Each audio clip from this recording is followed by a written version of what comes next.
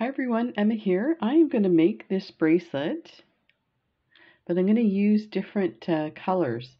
So the idea with this bracelet was to create a um, using using the uh, crescent beads. I did um, an organizational video the other day of my two hole beads and came across my crescents and thought it's time to figure out something to do with them. So here we go. So I made this one yesterday. I showed you the beginning of it. So this is the completed bracelet and it actually these fold over clasps I'm surprised is kind of not as hard as I thought they would be to put on. So definitely uh, something to think about. So that turned out really nice. So we have these little rosettes on either side of the sandwiched crescent beads and then a diamond connecting each of these components. So let's get started. I am changing it up a bit with the clasps, class just because I don't have a class that matches the color. So I'll show you another technique. This one's super easy. You just attach it to that single bead. Now I will say that I wasn't confident in the idea of attaching it to a single bead. Um, but I went through it a couple of times through the whole diamond and then around. So hopefully that should hold. I'll keep you posted. And initially I started with just this little set of five beads. Um, it was really kind of fiddly doing this this way. So that's why I ended up doing it that way. So let's take a look. So this here fits my wrist, which is five and three quarters. So it's about a six inch uh, bracelet. Sure what's getting hooked here. There we go. Um, so for this video, I'm going to do one that's going to fit between a seven and a seven and a half inch wrist. And the reason for that is this is going to be a giveaway for Valentine's Day. So you might hear some Valentine stories. so here is our crescent beads. This is going to be the one that's on the inside that's sandwiched. And let me get the color for that one. This is polychrome copper. And you can buy these at bead stores. Um, I don't know that like a store like Hobby Lobby or um, Michael's would have them. It just depends I guess on who's buying beads for that store but these are kind of unique so you do have to go to a bead store I got these from Art Beads when they had their uh, dollar bead sale. So I was fortunate to get, um, I got every color that they had that was on sale. So I have a weird assortment of colors and I think I have maybe 10 tubes. So, and we got this second color. This is called Milky Alexandrite Antique Shimmer, and oh my gosh, this is incredible. So I started doing the video earlier and was getting ready to put things together, and I had a different color for the um, alternate, and I almost ended up putting just these. They're so incredible. They are gorgeous. So that's those guys. And this is the clasp I'm going to use. And so both of these sides flip open. And these are a bit tight. I just bought them and I did find they were a bit tight. Uh, I will say that if you're looking for these, let me know because now I did do an unboxing in AliEx. My last AliExpress unboxing has these in it and has the link because um, these prices on these guys vary considerably. So I think I paid $2.20 Canadian for these. And these attach with a pearl or some type of bead. There's two holes there.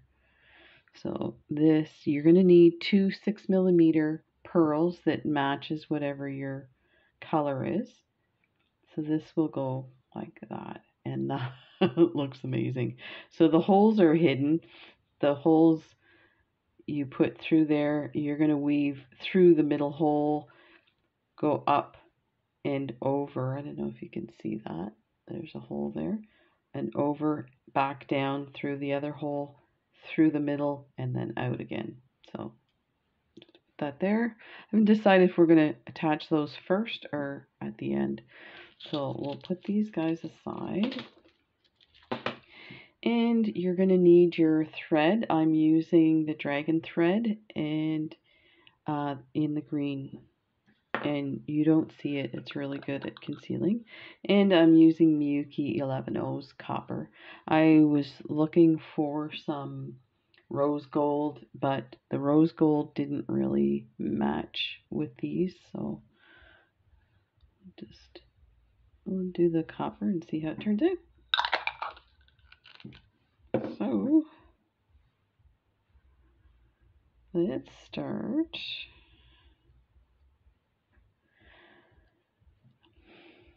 Okay, so I, I need to think about this now because this end piece is going to be different. Um, we need our super duos. I'm sorry, I pulled them away. That's like the biggest part of this is your super duos, and that's to create the flowers. So these, this one's called matte metallic copper. I'm, I'm looking, I'm thinking there's something missing. It's missing. Oh, these are lovely.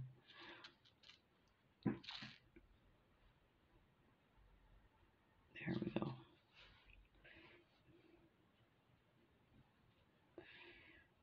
So, I am trying to think.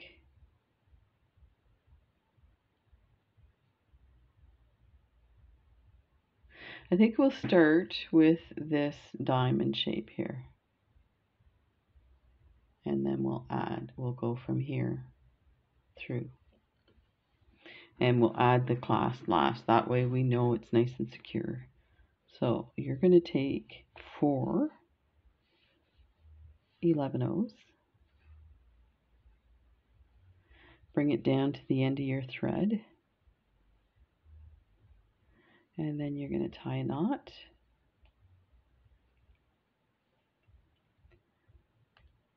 And another knot.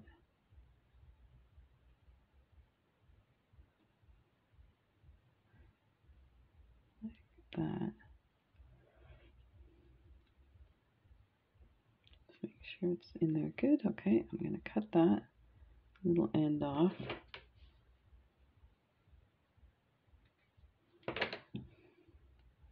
Make sure you cut the right end. I've done that before. So I'm going to move this up so you can see what's going on here. So now you're going to take your needle and you're going to go through a few of your beads to hide that little tail. It's not super important because this is going to be attached to the bead, so it'll kind of conceal it anyway.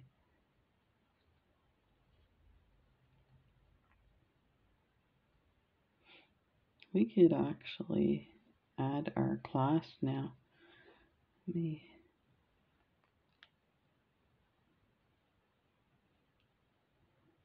as we're going around.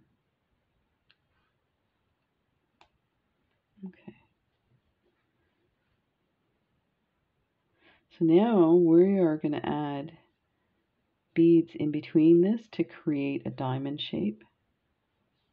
So coming out of this side, let me enlarge this a bit. And bring some more light there. So go through the next bead like that. So if you know how to do diamond shapes, by all means, you know, go go have a cup of tea. and that's not meant as an insult. There's the next one. And you gotta pull it in so that it kind of pops in between. So you can see the diamond shape starting to create. So we're gonna go grab the next bead. See if I can do this so you can see it pop into place. Like that. And then the last one. Like that.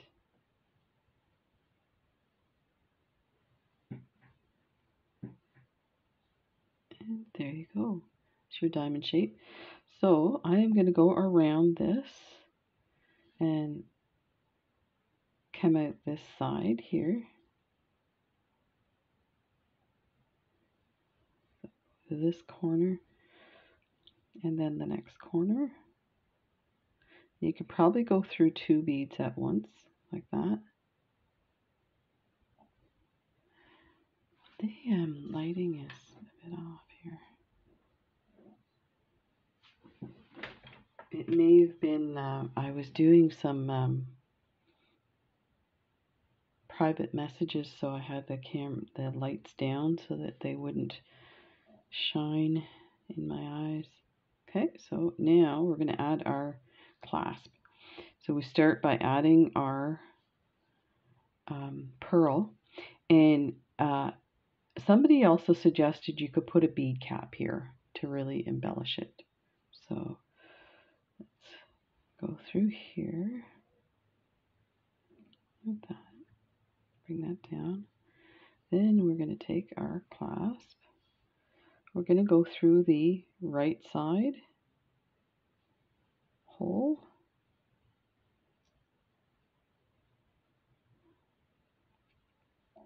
And go through your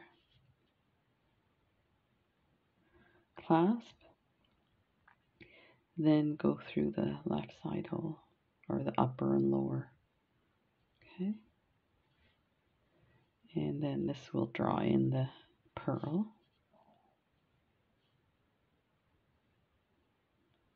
So I'm just going to leave it loose so you can see what I'm going to do. So I'm going to go ahead and go back through the pearl.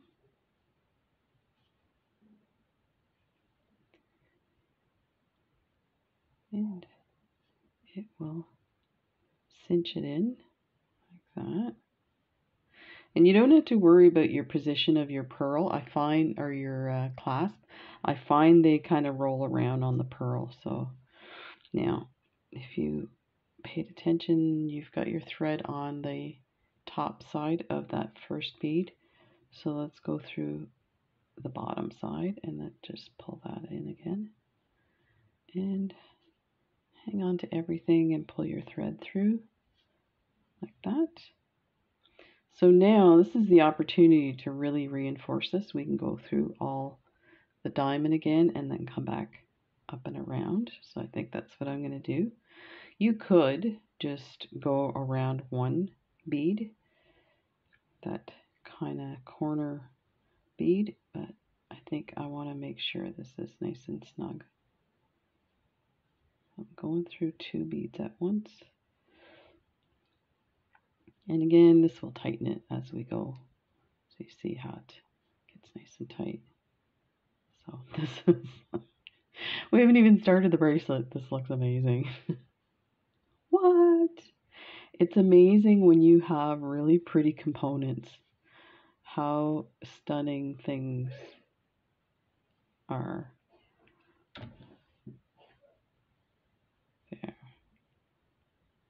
And we're going to go continue around the diamond shape. Try and do this so you can see.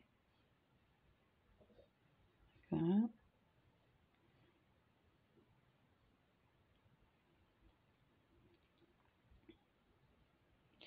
And then in through here. And through those two beads.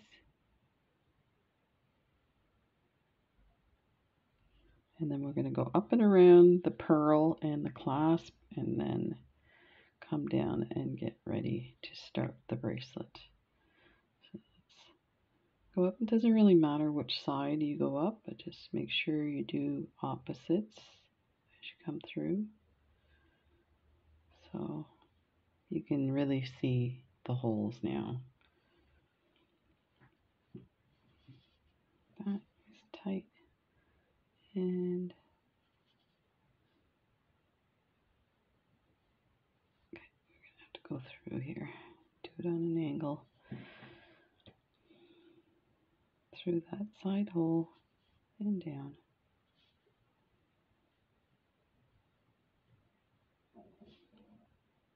That that's pretty. And these are the pearls I got from butterfly beads. So you can see why I get so excited over the butterfly beads.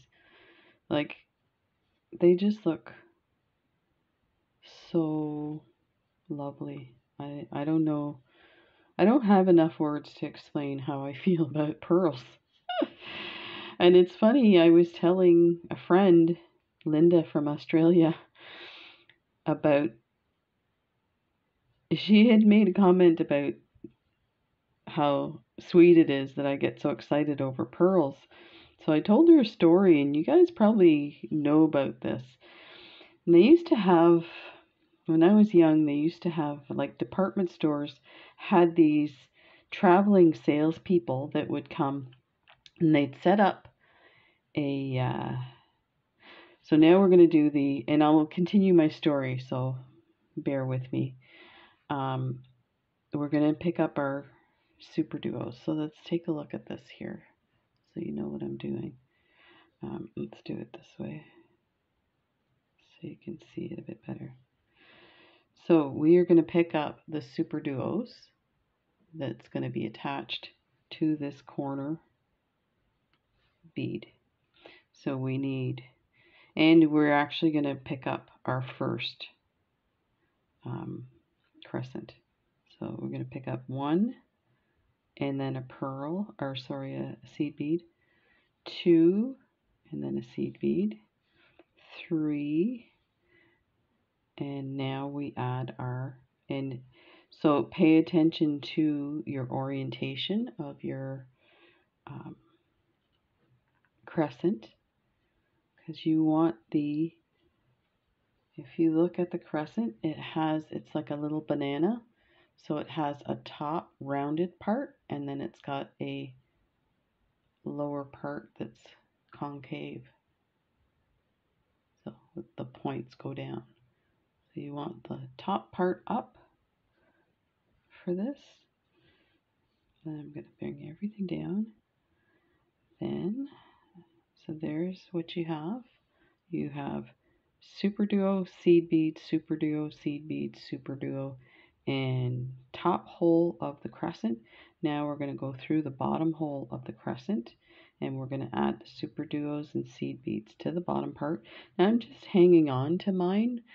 It's it's not that necessary because we will kind of cinch it up. So we're going to go super duo, seed bead, super duo, seed bead, and one more super duo. Like that. And take a look at go through the opposite side of that corner bead. So this is the corner bead that we strung these through and it's coming out of the top side. We're going to go through the bottom side. And pull everything in like that. Okay, don't worry that it's all messy. It's uh, it's gonna get straightened out. So I actually am gonna press down. So this this part's a little important because I did try to do these by doing the top parts first, and they just it didn't quite give the effect that I wanted. So to get the proper tension for this at the bottom with the crescent, just hold it in your hand like that and just press down. That should be enough. So now I'm going to go through everything on the one side again.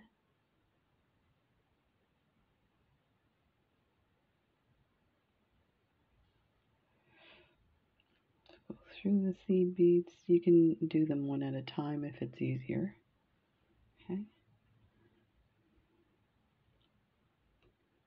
Okay. And just, again, just adjust. Get onto with your finger, maybe a bit. That should do it like that. Now we're going to step up. So now we're going to create the peak at the top. So we're coming out of the bottom super duo here. I still feel like this needs more light. Um, let me see if I can give this a little tick more light.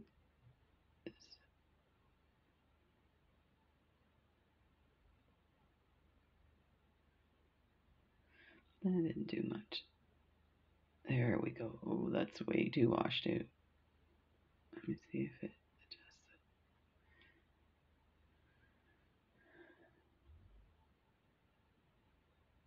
it. The um, camera is so wonky. now let's just stay super bright. There, that should do it. There. Okay. So step up, go to the top hole, and we're going to go through all the top holes.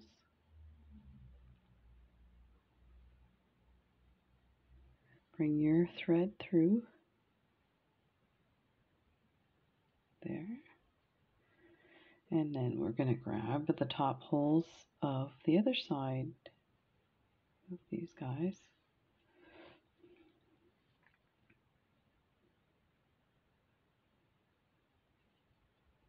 And don't worry if it's too loose on the bottom because we're going to go back down on the bottom and tighten that to what we need the tighten. So there you go. You're going to pull these together and you're going to go through these again. So they're at this point they're still pretty loose, but that's okay.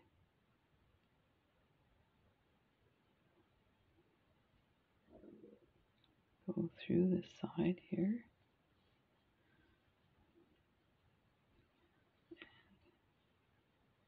Tight.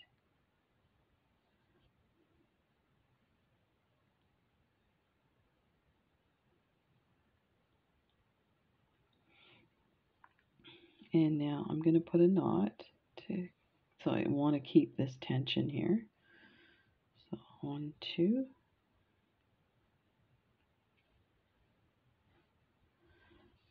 and I just hold it because I don't want the new knot to wrap around any of the beads. So now let's go through one side here. Tighten that. So it kind of hid the knot inside there. Then we're going to go through this one here.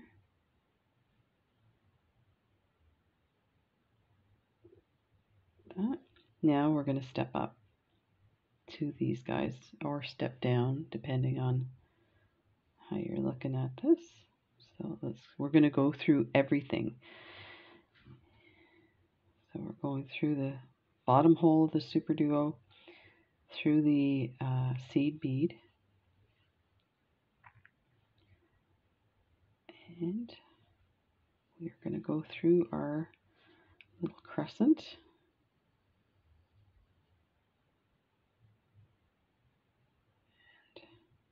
we're going to add the other two crescents at this point.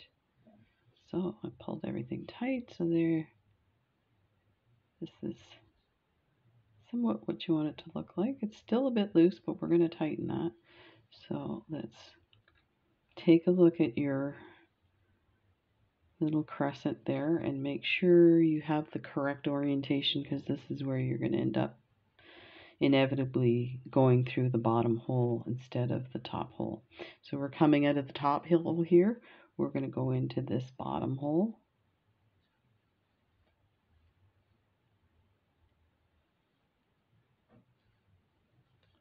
And through the top hole of this one. Okay. And draw it all in. Position them next to each other like that. There. Now we're going to go through, we're going to step down. So we're coming out of the top hole. We're going to go into the bottom hole and through the super duo and the seed bead. So let's hold that one tight and go through here like that. So I will um, tell you the story once we get going here after we get this first section done. Okay, so then we're going to go through everything again and we're going to tighten this one here. So,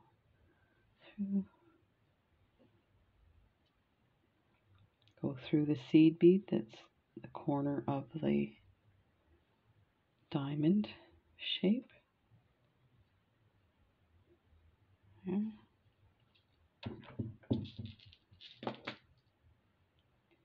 And go through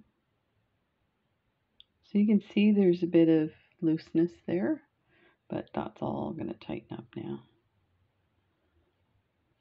So it's much better to do it a bit loose, I found with this design, and then tighten afterwards, because it's hard to work with otherwise.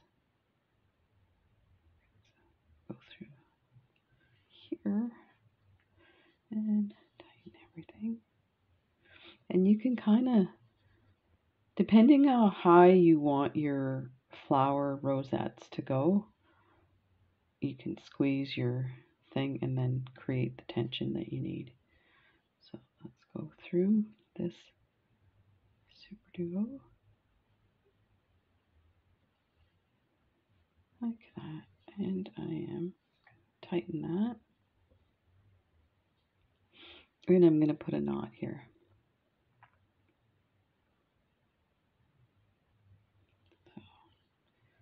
one, two, and then pull it down and cover it so it doesn't hop onto things like other beads. Tighten and go through your crescents like that. Now we're going to add the other side on. The other side's a little easier. This is going to be amazing. What? Somebody's going to get a very nice bracelet. Okay, so this one's this step's pretty simple. We're going to pick up six super duos with a seed bead in between each. So super duo, seed bead, super duo, seed bead. There's three,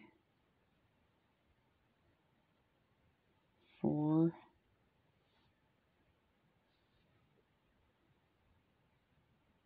five, seaweed, and number six. Okay. So this is what you have. You have three and three. Seed beads through all of them. Okay. We are going to go through your crescents here. Just like that. And again, same type of loosey-goosey tension. I'm just going to draw this down a bit because I'm getting out of frame. Okay, so just kind of loosey-goosey. We are going to go step up. So from that hole to this hole. And not to worry, you will not see that thread.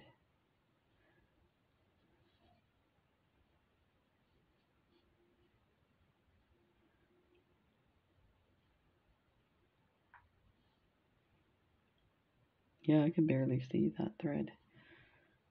Is what we have. And actually, I'm going to come back out of this seed bead because I think we will pop our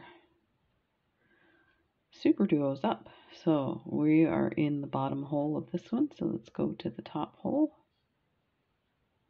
And that changes our direction as well.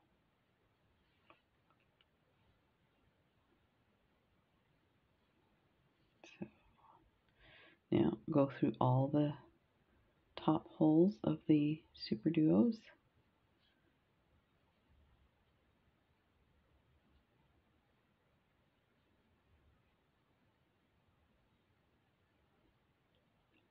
through.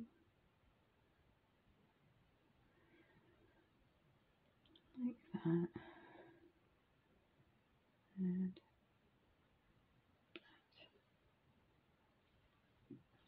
And pull them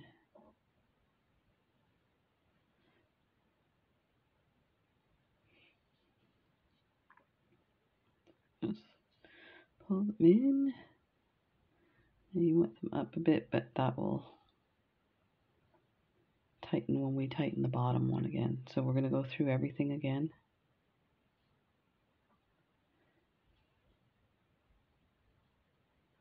Of the top holes, that is.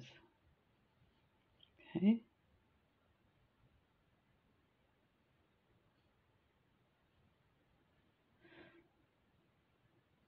That.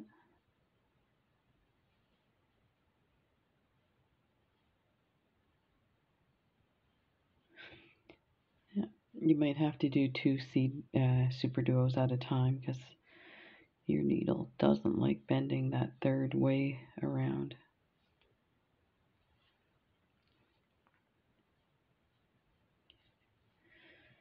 Okay, now bring it a little bit tight there. Now I'm going to create a knot here. This. And one, two, pull it down, draw it through, and tighten. I'm going to go through the one bead.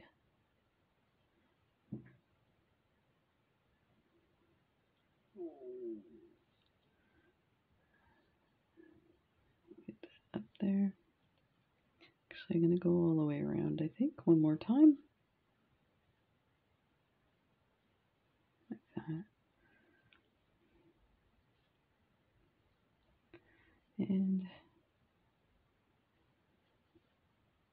through here. Oops. Okay, so now we're going to go through this one and we're going to use this one to step down and go around and tighten the bottom half. So coming out of that hole, we're going to go into this hole through the seed bead and a little tug. And we're going to go through everything at the bottom section. Super Duo, seed bead, Super Duo, seed bead, and uh, keep going.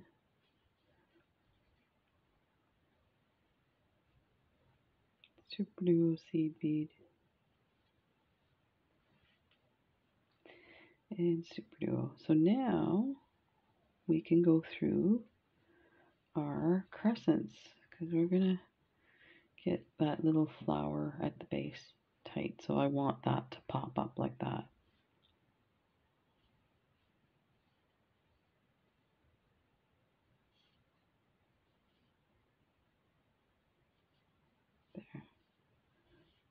So there's your first unit. Okay, so let's come around. Maybe I'll put a knot on this side.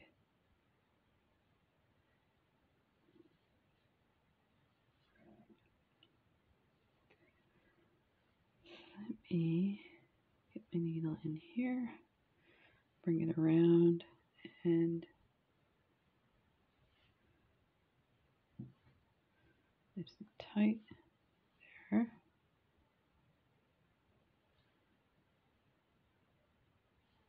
cross over back into these guys.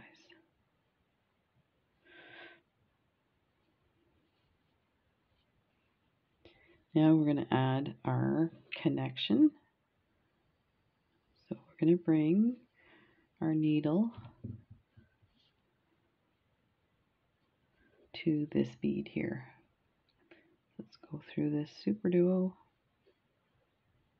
and through that seed bead like that. And at any point, like once you've finished your bracelet, like I'm feeling like this one's a bit kind of jiggly, um, I would take some thread and go through it and tighten it the way I want it because this one's perfect. But that's amazing. Okay. So now to create that diamond shape as we did before, we're going to add four beads like that. We're coming out at the bottom, so we're going to go in through the top of that single seed bead. Like that. And you, when you're connected this way, you always go up to the next bead first. Just to let you know, when I was learning this, I would forget that and add a bead in there and then wonder why my diamond looked weird. so now we're going to start adding a bead in between each of these beads. One here. That. And tighten that a bit bead.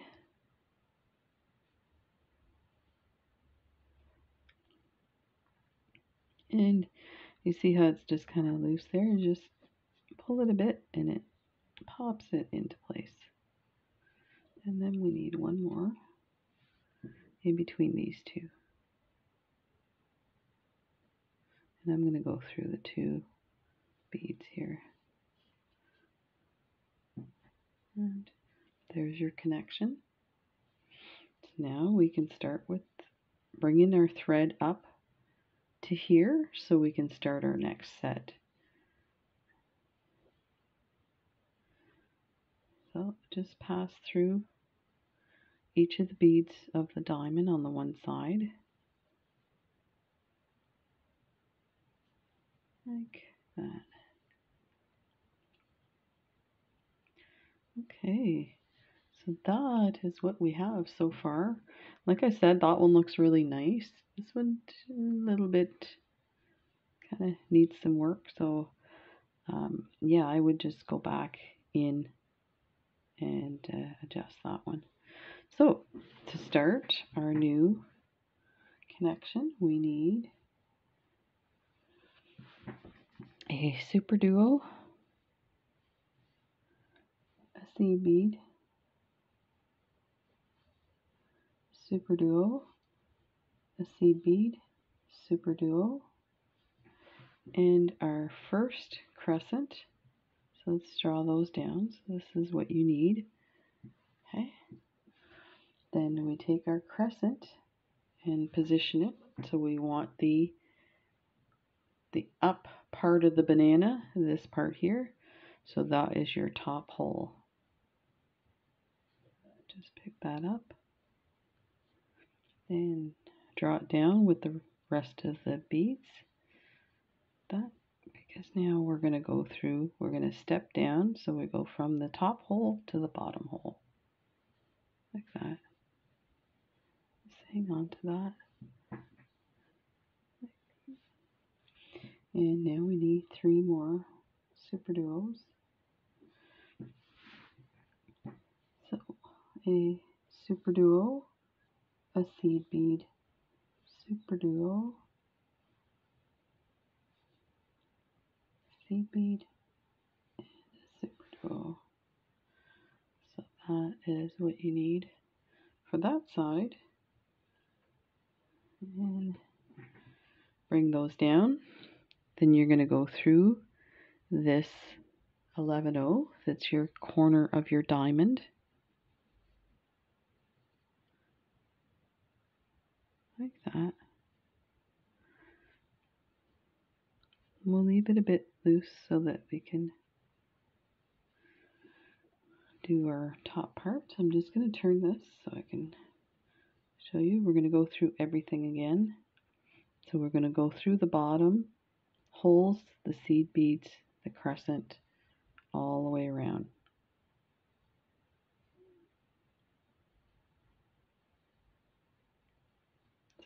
Probably do it in one go. Like that. turn this.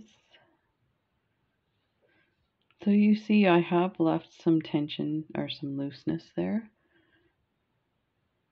Again, it will, will readjust it at the end, but it's best to have it a bit loose so that you can get your super duos in the correct position. Through like that. There.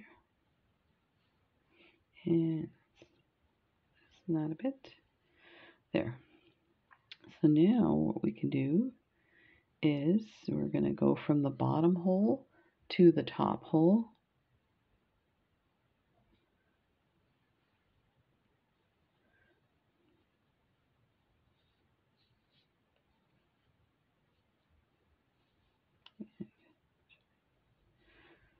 kind of it. I'm going to hang on to this part. So now I'm going to go through all the top holes of the Super Duos.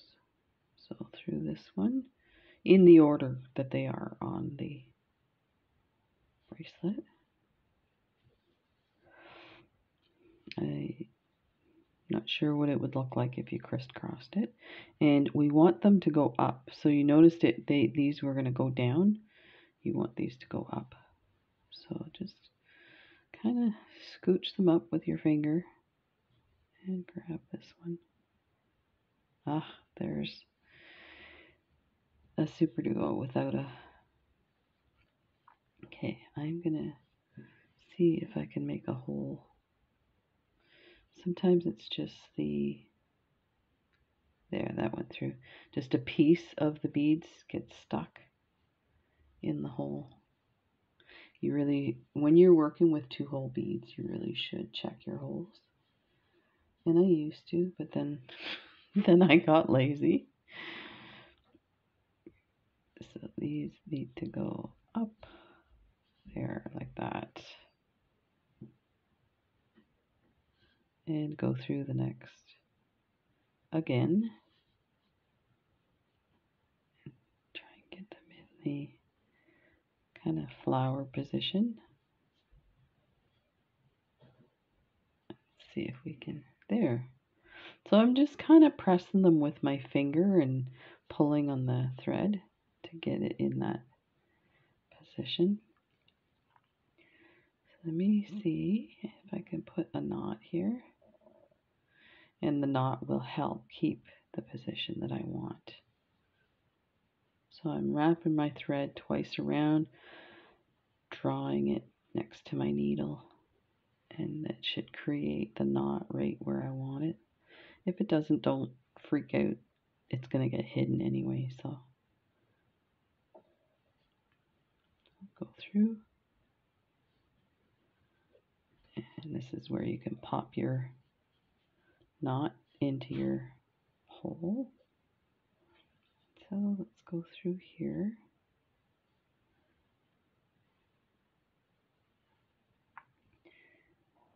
And we're going to go through the next three and then we're going to step down and tighten our flower. So through these three like that. And just play with it a bit and go down. So step down like that. So from the top hole to the bottom hole, and then we're going to go all the way around the super duos, the seed beads, all the way around. And we're going to increase the tension here because this is how we're going to shape our flower. So you see there's some looseness there. This is, we want to get that nice and snug.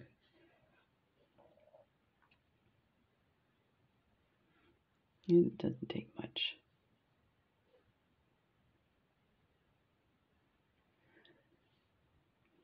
Okay. Go through everything.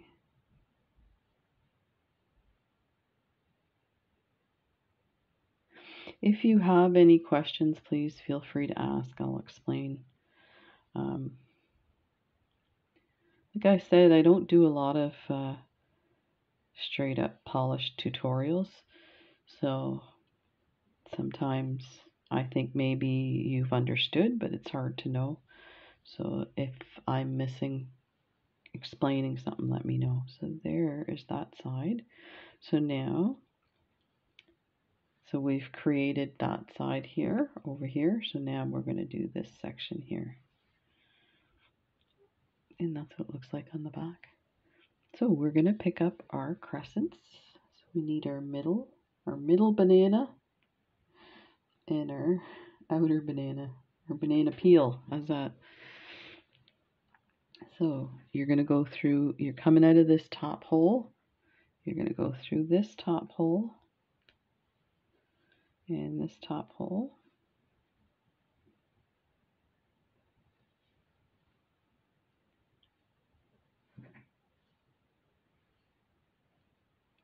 And let's see what I, there we go.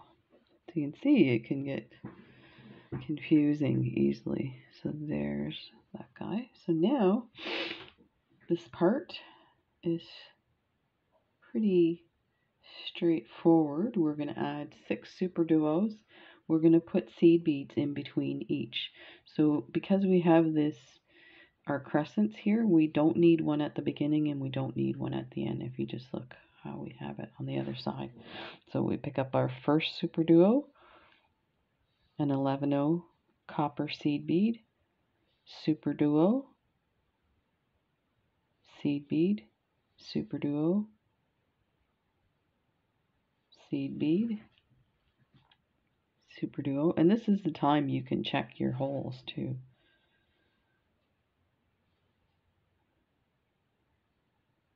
Super duo. So you see why I don't check them. It just, it's that extra second, right? How bad is that? So this is what you need on there. There's six with the seed beads and your two crescents. So now you're going to go to the bottom holes of the crescents and it's going to create a loop which is your flower. So just like this. Pull through. And you can like pull that out and get it in the right spot here. Threads. Okay, so again, on this side, because we don't want this to be too tight, and what you can do is pop your super duos forward and that should give you an idea of what the tension is going to be. So, there, like that. So now come back around.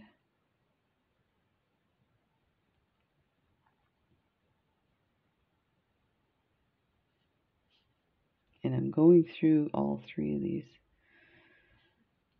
crescents. And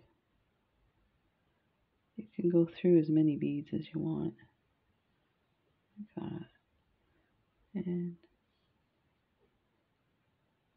like that. I'm actually going to step up on this one and go around. So we're going to go from the bottom one to the top one and then go through all of these top holes of the super duos. Bring them forward.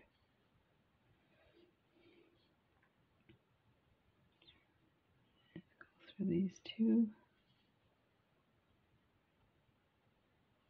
Like that. And go through the next two.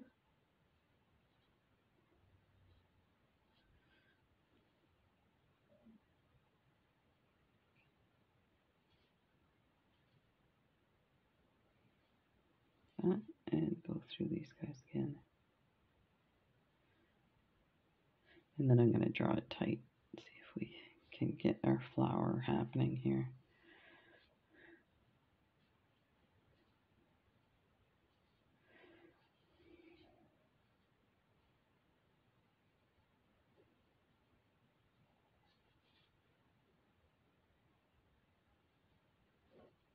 There, now pull it tight.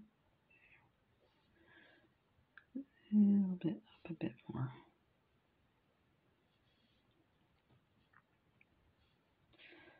So let me put a knot in here because that's kind of where I want those guys. Like that. Going to hang on to my thread there. Grab hold of this thread and wrap it, pull it down.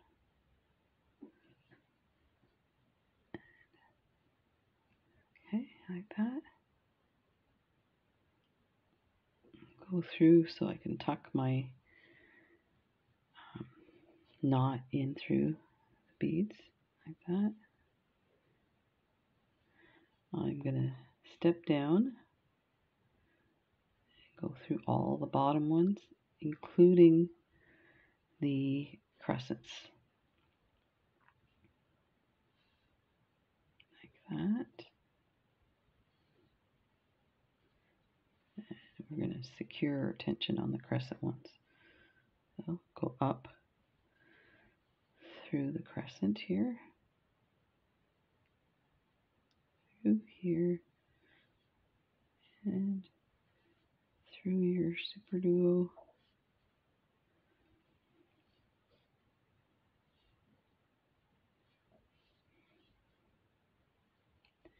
And go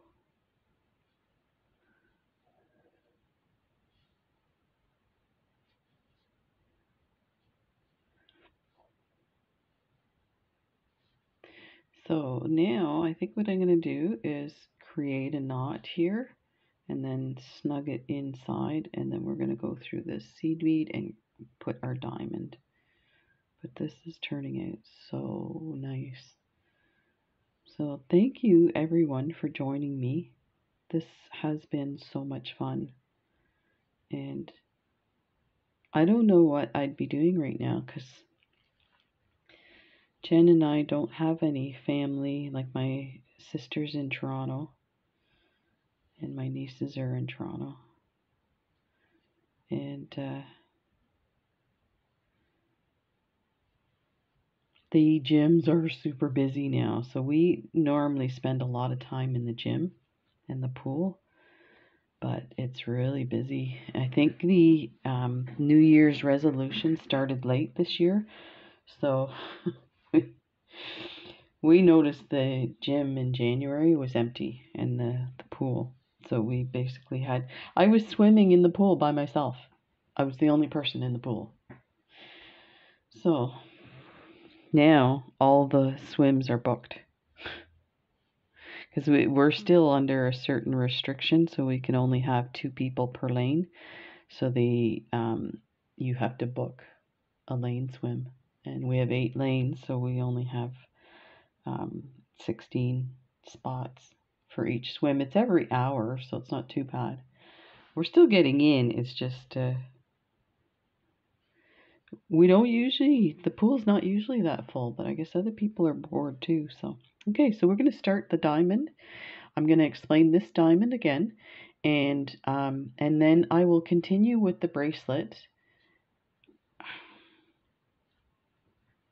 me see how many units we have to do here. So, so that means three more. You know what? I think what I might do is um, finish it. You'll see it in the display because um, we're already at an hour. I think what I showed you so far is good. So here's the thing. What I might do is I might continue so I can tell you the story of the pearls and also my experience with Valentine's Day. So if you're just totally interested in this tutorial, by all means, this is pretty much it. You basically do the same on the end for the other side of the clasp with your pearl. And um, yeah, so I'll, I'll say right now, um, to participate in the giveaway to win this bracelet, um, just if you could let me know where you're from, that helps me for shipping, so I have an idea. And I it also helps me to know who I'm talking to, and if there's any um, any interesting story on Valentine's Day for you. So that would be so cool. But again, you don't have to give that information. You can just say great tutorial or lovely bracelet, whatever, and you will be entered to win. Now, this uh, bracelet, I will I will post it um, this evening or soon, and then um, I will do the drawing tomorrow on Valentine's Day. So normally I leave them for about five days to a week, but I think this time I'm going to do it quick. So I apologize if you missed this. Um, there's plenty of giveaways coming up, so don't worry. Um, yeah, we'll see who else was bored on a Sunday afternoon. So let's go ahead with the diamond. So you're coming out of your seed bead that's in line. You're going to go, you're going to pick up four 11 O's and then you're going to go through the top of that seed bead and just the seed bead. Creating a loop of your beads. So let me bring that closer to you like that. And like I said before, you always go through the first one without adding anything and pull it nice and snug. So we're going to add a seed bead in between each of these to create our diamond pattern.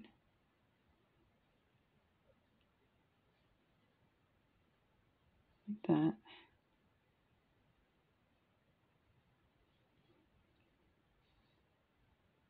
And you can go through both seed beads now that you've got your last one on like that. And nice and tight. Now we're going to bring it, bring our thread up, go through these two, and then the next two.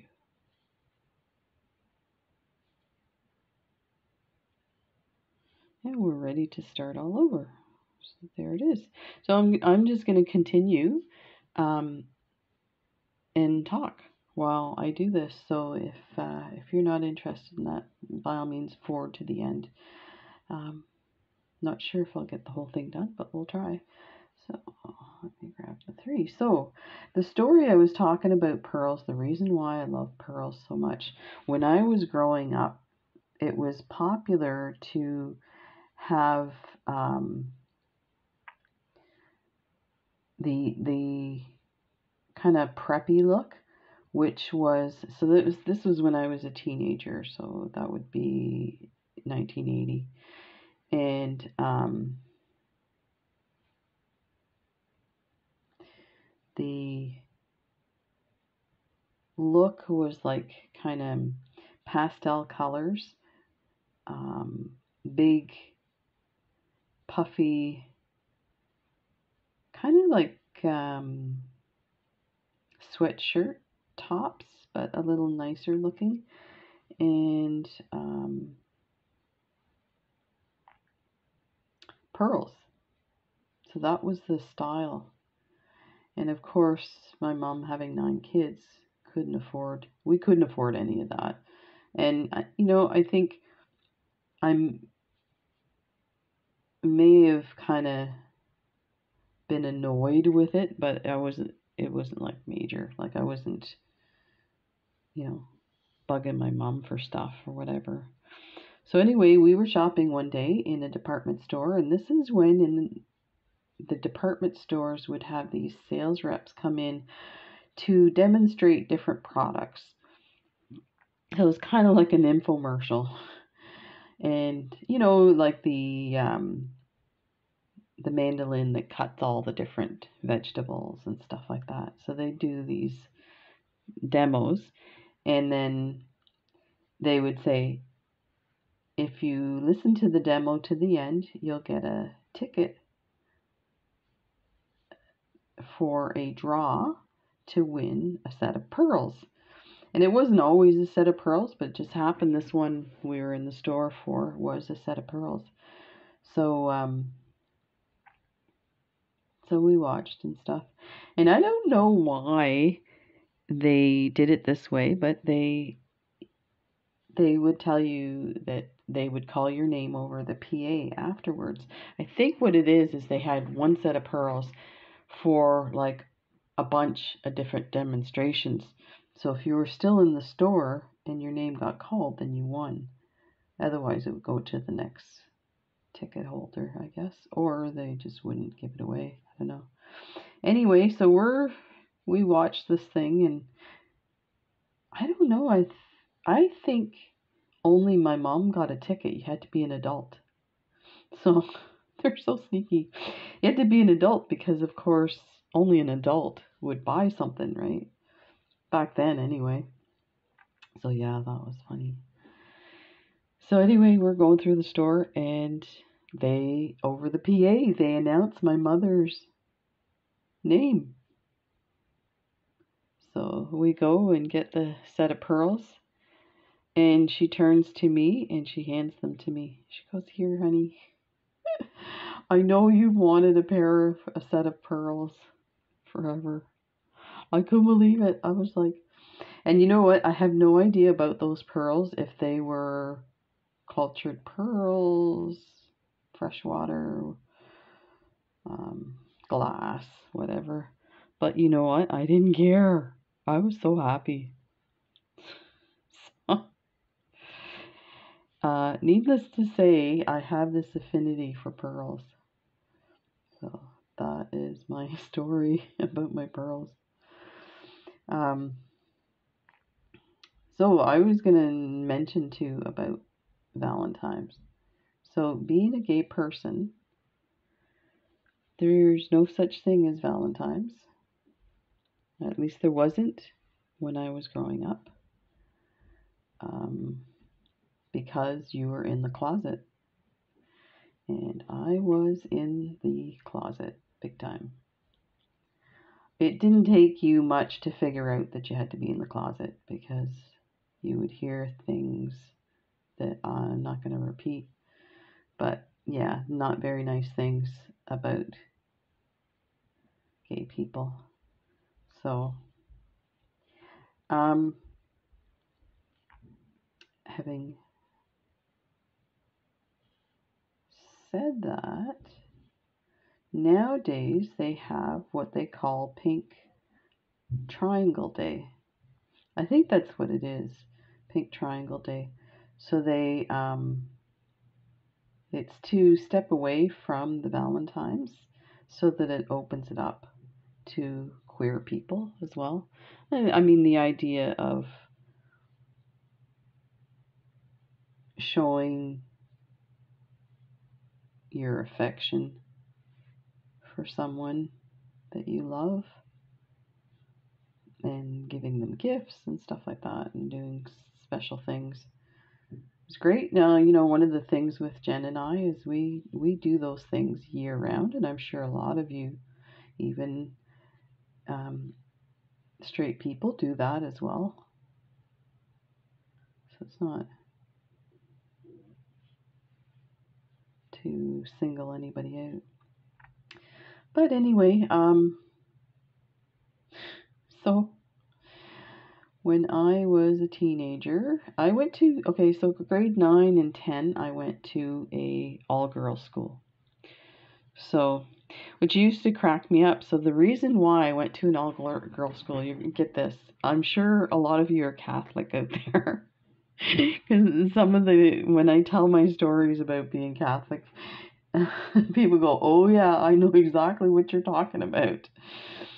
So um, my mother's idea was so. Here's the thing: we have a private and a Catholic uh, school board in uh, in Ontario. So that's in Toronto. I don't know if they have it separate now. So it used to be separate. So um, she thought that if we went to an all girls school, that we wouldn't get pregnant. Nothing like teaching about sex education. No, being Catholic, right? Let's, let's get it straight. So the funny part that I thought always thought was hilarious is that being gay, first of all, I can't get pregnant. Secondly, um, I mean, she should be happy then that I'm gay, right? and then sending me to an all girl school was not punishment. so that that I found kind of funny. Not that I was like perving on my friends at school, because I wasn't. I'm just like anybody else, right? Have boundaries and respect and stuff like that. But uh, yeah, that was too funny. So anyway, they would do for Valentine's Day. They would do. Um, they would hook up with one of the boys' school, and the boys could um, pay for a rose and it would be the intention was to send this to one of the girls at the girls' school. And um, so when you came into our vestibule of the school on Valentine's Day, they had, it was probably seniors, like grade 13 seniors, sitting at a table with big buckets of roses, long stem roses, and um, you would go up to the desk or the table and you would give them your name and they would look it up and they'd say, Yeah, you have a rose, and they'd hand you a rose and it had a little note attached to it was from or something like that. I don't know. Can't remember now. But um so I remember like going up. I'm thinking now, why would I even bother going up? I knew there was not going to be roses there for me. but maybe I was doing it so that nobody would know that I was gay. Imagine that. So I uh and it was sad too. So you know, here these girls would be going from class to class carrying their rose, and you didn't have one. So it was really, in that sense, it was kind of not necessarily traumatic, but I feel like it just added to the crap that you had to deal with in high school. Now, I'll tell you, being in an all girls school, I felt like uh, it. I would recommend it to anybody because, for one, everybody wears the same uniform, and so I didn't have to worry about having the cool clothes. And uh, yeah, uh, what else? Um, on the first day of school, we made instant friendships that lasted the years. Um, you know, you're kind of in the same thing. So basically, whoever either was by your locker or in your homeroom class, like you just made friends quickly. It was like, we're all in this together for the long haul. so, yeah. But, so that was my experience with Valentine's. I'm trying to think of any time that I got Valentine stuff. Um,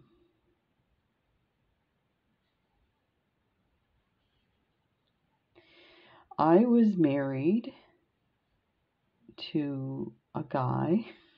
I have to point that out. and uh, he was a nurse. I met him in nursing school. And he was really, really smart. So he had a bunch of university degrees and stuff. But the reason I bring this up, he reminded me of the Nutty Professor. So, like, he couldn't dress himself.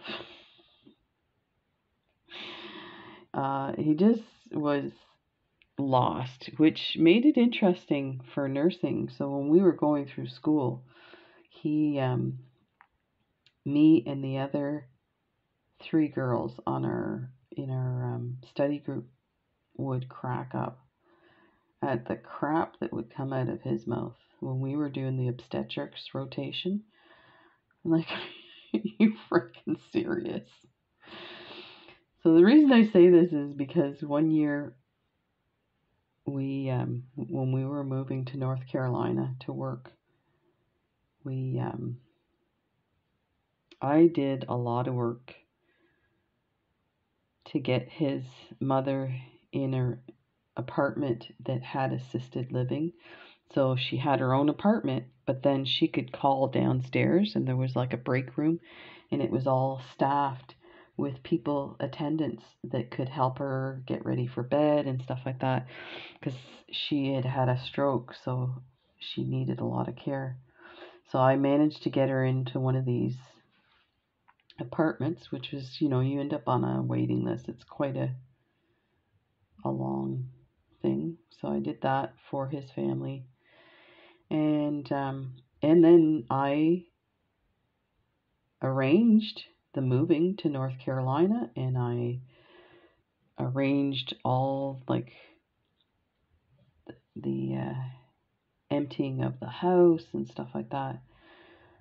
So, um, anyway, we go to his sister's house for Christmas Eve. We were leaving on Boxing Day. So the truck's loaded, U-Haul's loaded, the whole bit. We go to his sister's for a little dinner and exchanging of gifts. And he, I see him like panicked, and he, he gets his sister, and his sister hands him an envelope. So he runs into the bedroom, and then he comes out of the bedroom with this envelope. So I look at the envelope. He had written, I owe you. Didn't even write it out. That's how frickin' lazy he was. I dot O dot U dot. I'm like, what are you in fifth grade? like, are you serious? And like, it just so happened that it was written on the envelope that it didn't even have the um like I opened the envelope to see if there I thought it was a joke to see if there was anything in the envelope. Like, really? Really? That was one of my experiences with guys and that's why I call them the nutty professor. He was just useless. But uh, so I learned from that that uh, that was still when they were sending catalogs to your home and stuff.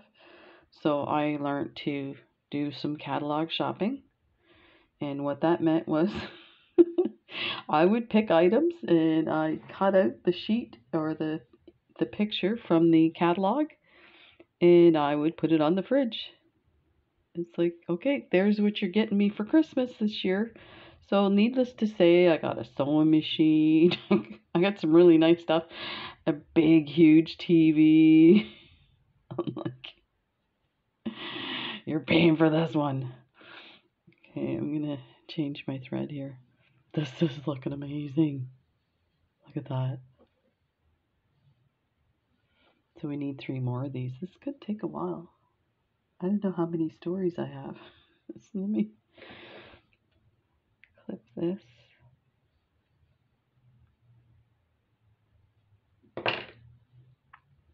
We were um, obstetrics with um,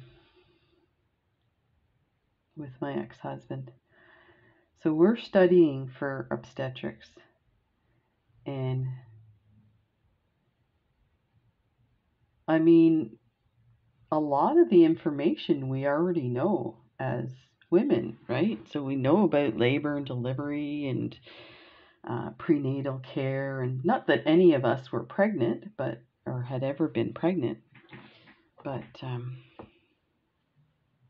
you know those kind of things you pay attention to because at some point you probably will need to know that information. So I'm just looking. I don't know. Okay.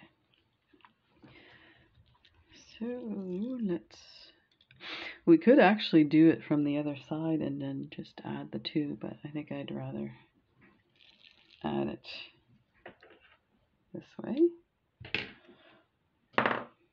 So, I'm gonna thread my needle. Yeah, so we're, so we used to study every other night together as a study group and we just go to a different person's home each night. And there was me and him and two other people, two other women in there. So I had, because I was really broke, I had purchased a, um, they have these workbooks that you use to study for your um, national exams. And I had um, bought one at like the thrift store, but it was um, it was an old one, and it was really old. Funny enough, like it was probably from the seventies. Yeah, probably from the seventies. So um, anyway, the like some of the answers were kind of stupid. You knew that that was not the right answer. Things had changed enough, and but believe it or not, the the obstetric one, I was shocked how much stuff was different. So, and, and you guys know where this is going, I'm sure. So, one of our teachers had showed us a um, black and white video of how they used to do deliveries. So this video, they um, they prepped prepped the woman for delivery. So they shaved her perineum, and then they gave her an enema, and then they put her out. And that's how they delivered the baby back then.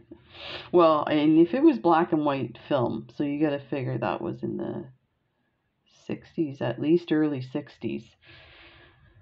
So, um, anyway, uh, we're studying from this old book. So you can imagine it was the same kind of stupidity and it was multiple choice. So you'd ask a question and he would answer.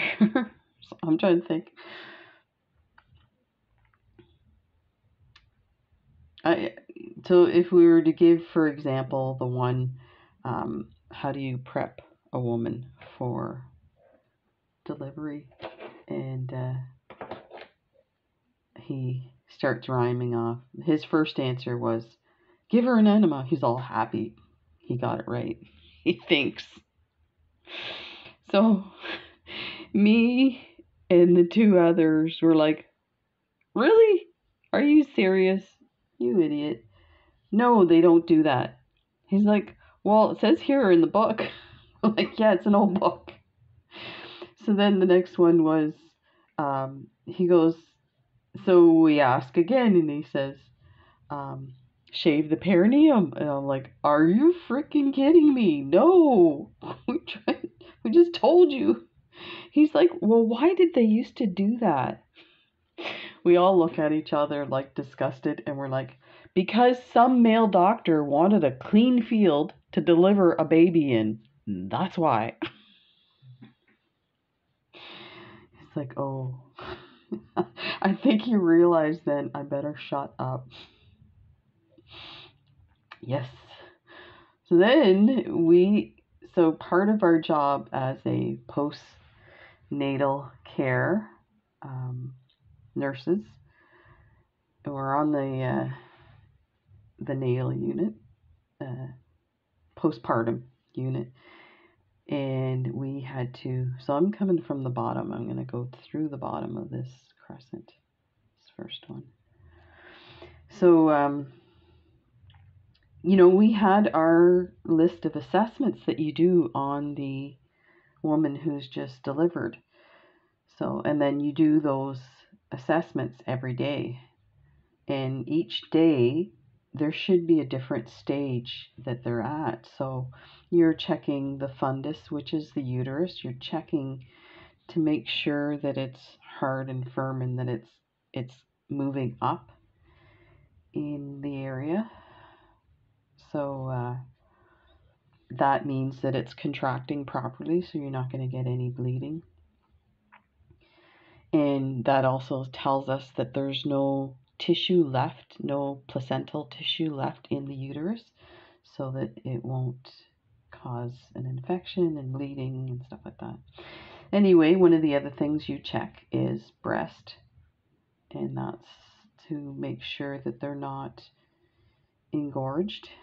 And uh, so we, we're going around the unit. We've, we're assigned patients so we have to go in and introduce ourselves and give them the say we're here to check things. So is that okay? And uh, I go down the hall and I see Richard standing at the door of the patient's room. And if you can see my hand. So when you do the breast assessment, you would do something like this on the breast and then check the other one. So you're feeling all around, kind of in a circle. And uh, he's at the door. He's not even in the door, in the room, or even anywhere near the patient. And he's going like this with his hands. I'm like, dude, you got to get a bit closer. Yeah, he was I'm surprised they passed him.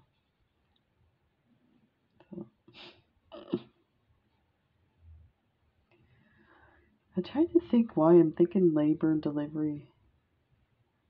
Oh, I just watched an English show. And I can't remember the name of it. It's it's like a a whole sentence, the name of it, but it's about a young well, it's about a doctor that works labor and delivery, and um, and then it shows all everybody that works labor and delivery and how much stress. So he works with the NHS, which is their healthcare system, and yeah, so I think that's why I was thinking about it lately. I would have been a labor and delivery nurse for sure. I loved it. But the issue with labor and delivery for nurses and jobs is because, unlike other nursing positions, you don't do any heavy lifting. So it's it's pretty rare that you have to lift a patient in uh, labor and delivery. They usually walk in. so that kind of thing. But on other floors, you're constantly lifting and turning patients and stuff like that. So it's a lot easier on your back. So they stay longer. So they don't retire like most nurses probably retire somewhere in their 50s because it takes a terrible toll on your body. So, um,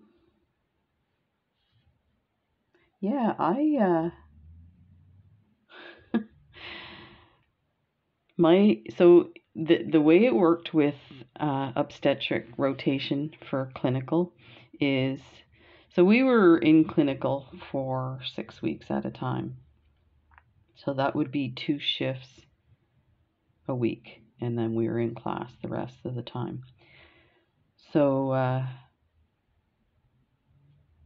my first, so you, because there were so many students, only, you only got two days of that would be in labor and delivery. So, my first day in labor and delivery, I get there and it's me and another student. So the other student was assigned a patient already who was going to have a C-section. C-section. So she was kind of down the hall a bit. Anyway, I get to the floor. The floor is empty. The nurse says to me, she goes, "You're not going to see anything here." She goes, "We delivered eight babies over the weekend." She said, "That's just the way it goes. They all come at the same time." and then nothing. So I was like, oh, okay. So I guess she, I don't know if she suggested it or my teacher may have come around and said, well, you go in with this other student and watch the C-section. And actually, the other student was, she was kind of useless. And you know what? Who knows? She's a student, right? So she's learning too. So I am kind of, I don't want to say bossy, but I was really good at um, taking charge, I guess. So anyway, uh, we had this patient that had a scheduled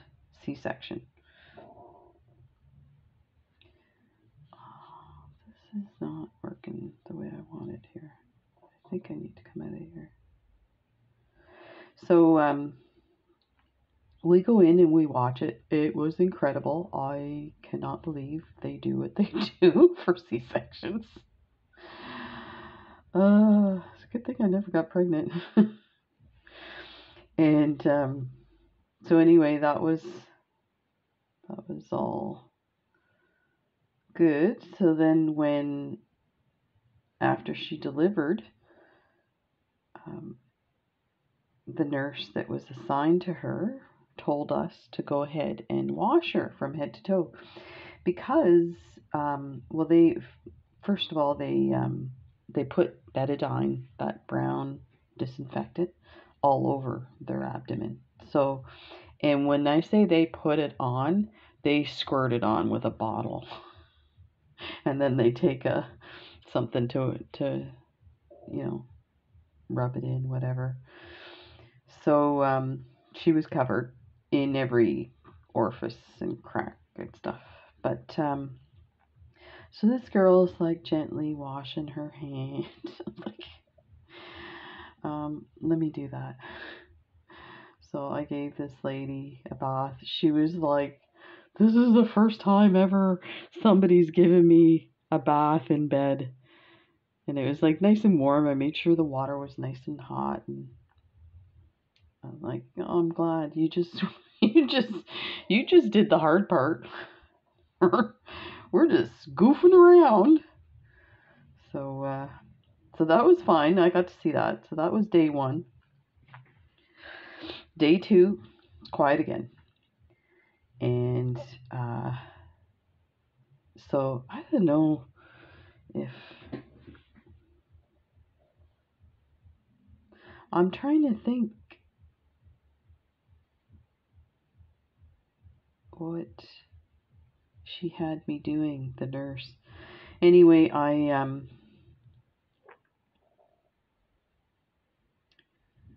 sorry, I'm I'm trying to bead and think at the same time. So a lady came on the unit And she walked on. She looked, I mean, she was pregnant for sure. There was no mistake in that.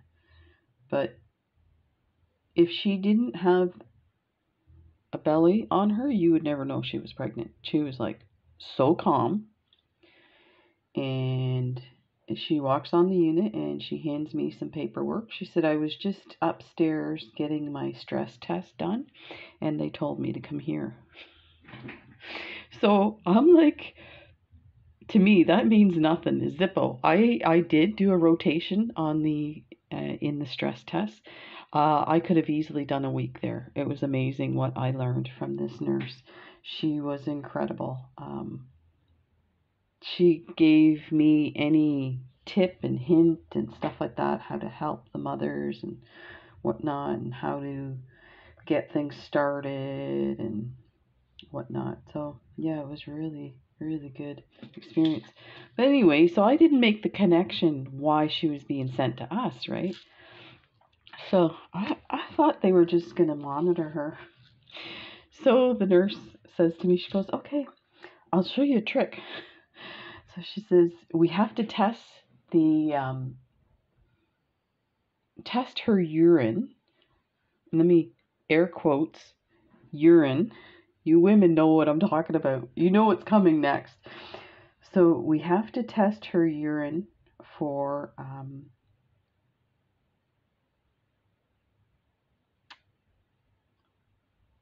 oh, I'm trying to think of the word and I just blank here. The uh, fluid, like when they, the, um,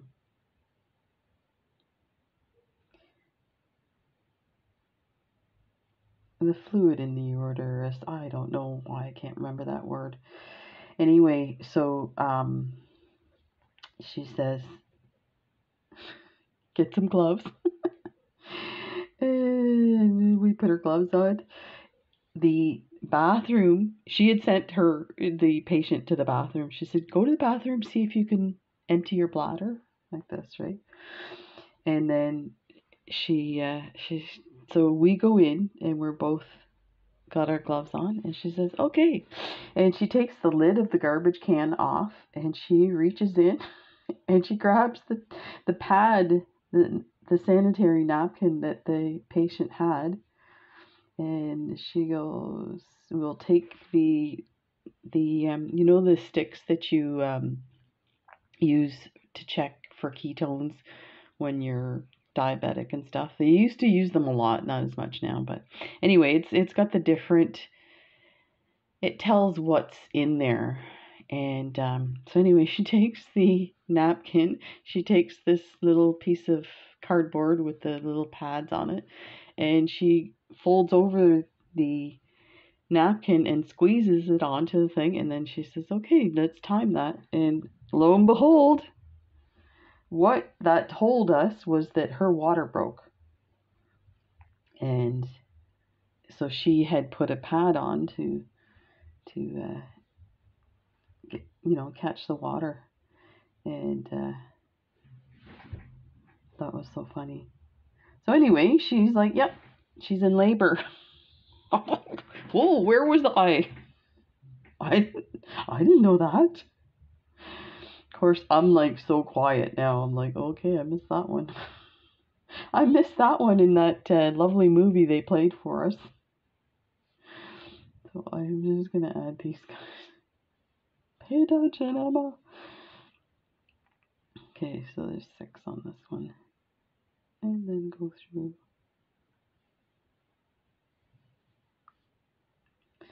So then, um, yeah, she starts going into labor, we get her set up in the room and everything, and um, the nurse called the doctor, and in the meantime, I am fully gowned and everything, ready to go, because guess what? Somebody's having a baby without a doctor. so it was so funny when I came in the first day of my clinical and she says, Yeah, you're not going to see anything. That went from no babies to a C-section, and I actually got to give care to the mother, and then um, help deliver a baby.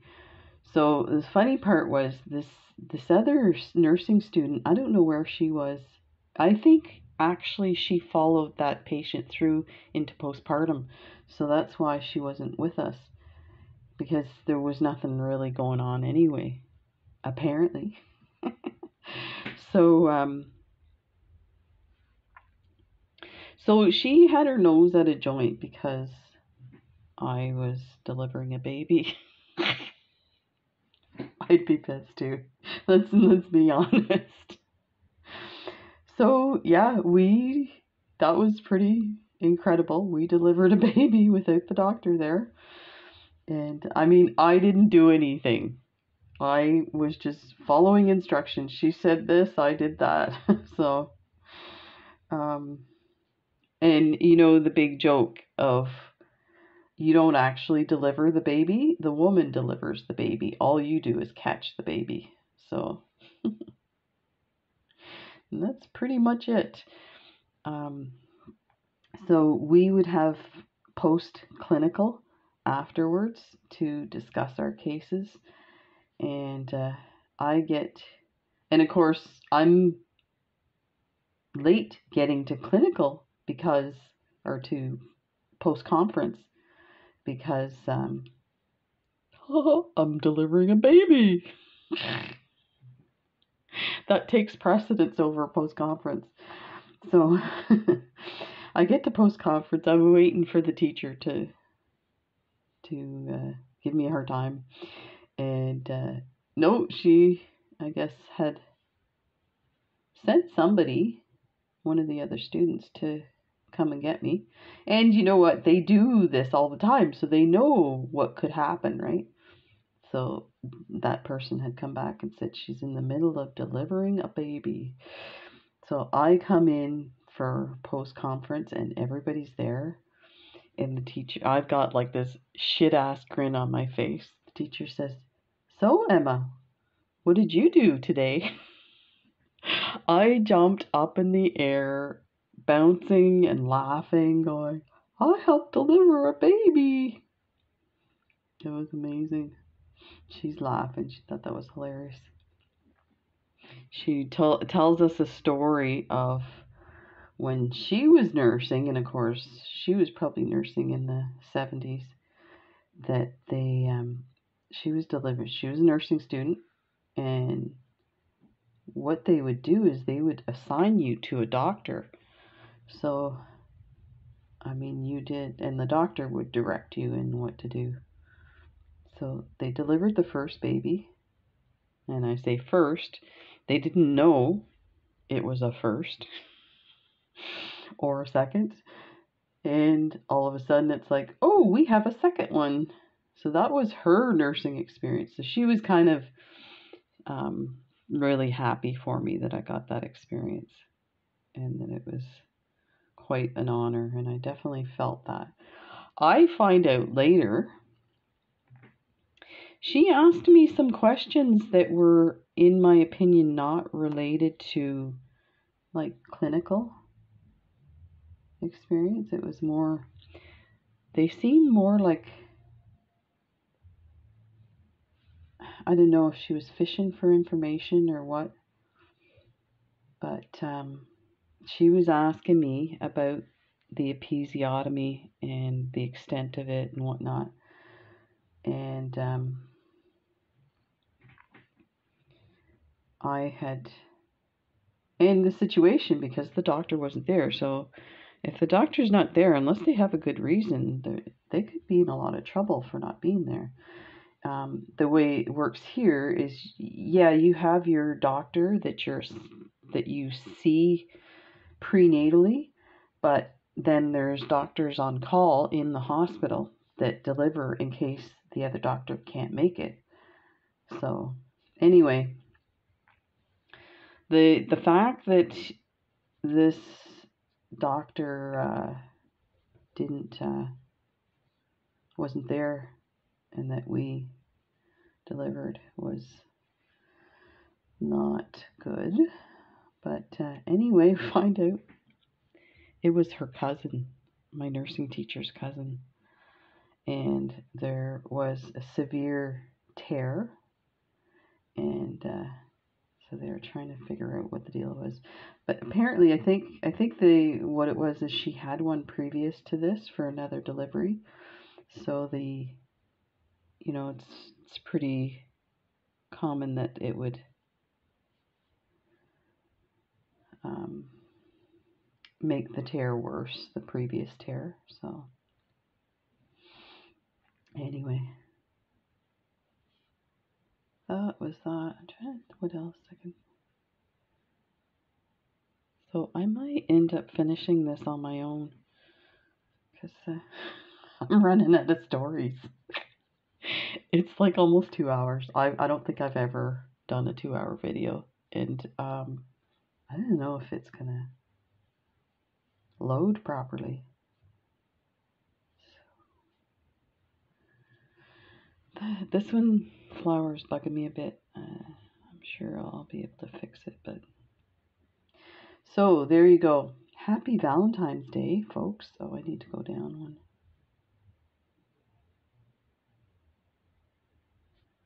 I may do go through this one.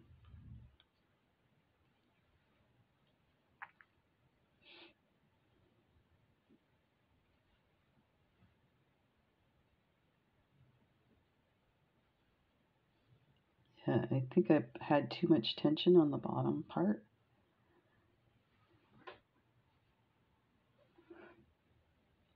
And let's come down.